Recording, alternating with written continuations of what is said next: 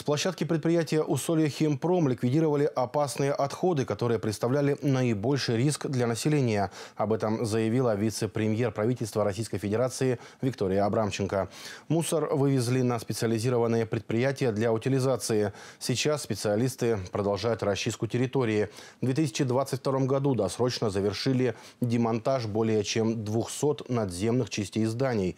Об этом в своем телеграм-канале сообщил губернатор Иркутской области Игорь Кобзев.